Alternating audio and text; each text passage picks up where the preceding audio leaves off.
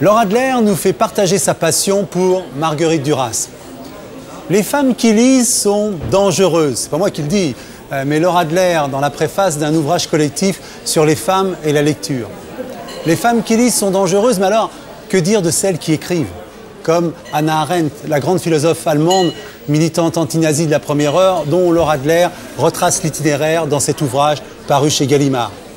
Dans les pas de Hannah Arendt.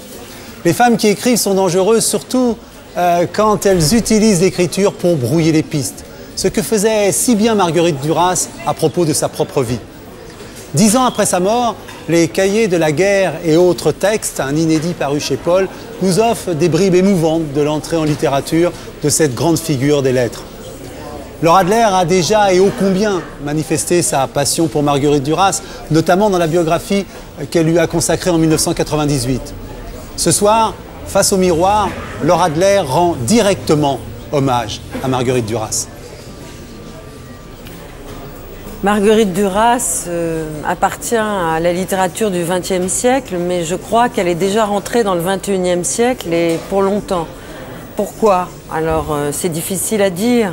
Je crois que c'est une histoire de sentiments, une histoire de passion, une histoire de style et une histoire d'océan. L'océan d'ailleurs parcourt euh, tout l'œuvre de Marguerite Duras. L'océan Pacifique, je vois qu'il y a un barrage contre le Pacifique devant moi et son œuvre maîtresse, celle euh, par laquelle elle a commencé à être reconnue en littérature. Elle a failli à l'époque avoir le prix Goncourt mais les enjeux étaient très forts. Pourquoi? Parce que Marguerite, dans cet ouvrage, racontait sa propre enfance. Elle est née dans l'ex-Vietnam, dans un pays à l'époque colonisé. Sa mère était institutrice. Son père est reparti en France parce qu'il était très malade. Et dès l'âge de 4 ans et demi, Marguerite Duras s'est trouvée orpheline de père et avec une mère qui ne l'aimait pas. Et cette douleur d'aimer sa mère et de, ne pas être reconnue dans l'amour qu'elle portait vers sa mère, elle a décidé de faire de cette douleur-là une douleur intériorisée et petit à petit, ce sont les mots qui, à l'intérieur d'elle-même, se sont sédimentés, puis sont sortis petit à petit, longuement, longuement mûris par cette douleur progressive, à la fois dans Un barrage contre le Pacifique, où elle raconte son enfance face à une mère qui l'a détestée, entourée d'un frère qui l'a batté, qui l'humiliait, qui l'a violenté, qui l'a donné véritablement en échange à un Vietnamien. Donc son frère l'a vendu littéralement et sexuellement pour qu'elle puisse rapporter de l'argent à la famille. Et puis ensuite, Marguerite, elle a décidé de quitter le Vietnam, de devenir étudiante à Paris. Elle ne connaissait personne, elle n'avait pas un sou. Et elle a rencontré là un milieu d'écrivains à Saint-Germain-des-Prés.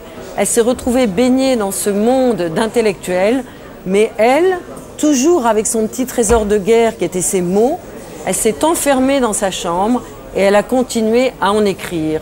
Son lectorat était tout petit, puis progressivement, vous savez, comme on jette une pierre dans un étang, ben ça a fait des petits cercles d'aficionados, d'amoureuses, d'abord des filles, et puis le succès est venu quand elle a eu, je sais pas, 68 ou 69 ans, qu'elle était une vieille dame. Le succès, c'était le Goncourt avec l'amant. Et là, dans l'amant, qu'est-ce qu'elle racontait La même chose, modulée autrement, avec toujours cette pureté de la langue. Et elle disait que tout le monde pouvait écrire, à une condition, transgresser tous les tabous, transgresser tous les interdits, raconter ce qu'il y a de plus dérangeant à l'intérieur de nous-mêmes, parce que Marguerite Duras nous donne à l'intérieur de tous ses ouvrages et à l'intérieur de, de tous ses livres, c'est cette espèce d'élucidation d'elle-même jusqu'au point de se faire mal à elle-même. Et donc cette espèce de, vérité, on la reçoit à l'intérieur de notre propre cœur. Et l'exemple de la vie de Marguerite Duras nous prouve qu'effectivement, grâce à la littérature, eh elle a réussi à construire une vie d'amoureuse, elle a réussi à construire une vie de mère et de maman, elle a réussi à construire une vie d'esprit d'insoumission, d'intellectuel et d'écrivain, Et moi, je pense que sa loyauté vis-à-vis de l'écriture et vis-à-vis de nous-mêmes, lecteurs, restera encore pendant très très longtemps. Alors, Laura, je vais demander, parce qu'il y a aussi quelque chose qui n'est pas différent, c'est l'inscription de Marguerite Duras dans son temps, l'inscription politique de Marguerite Duras, qui n'est pas dissociable de, son œuvre, ben, elle s'est engagée à l'intérieur de la résistance dès 1943 avec François Mitterrand et dans le réseau de Mitterrand. Elle s'est inscrite au Parti communiste et elle a pensé que la lutte des classes allait permettre plus d'égalité et plus de fraternité. C'est-à-dire qu'elle a toujours été Marguerite du côté des humbles, du côté des humiliés, du côté des prisonniers, du côté des minorités. Donc pour tout cela, je l'aime, je l'admire et je suis très heureuse de savoir qu'elle continue à être l'icône des jeunes de 18 à 77 ans. Est-ce que, parce que c'est revenu l'affaire Grégory, est-ce qu'au moment de l'affaire Grégory... Elle a euh, été conne, stupide, elle s'est trompée, elle avait trop de passion. Elle se prenait à la fin, pour paraphraser Michelet, pour une espèce de sorcière. Elle était persuadée que Christine Villemain avait assassiné Grégory.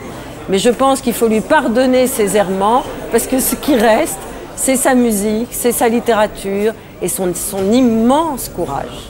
Je crois qu'on lui pardonne. Ben, merci.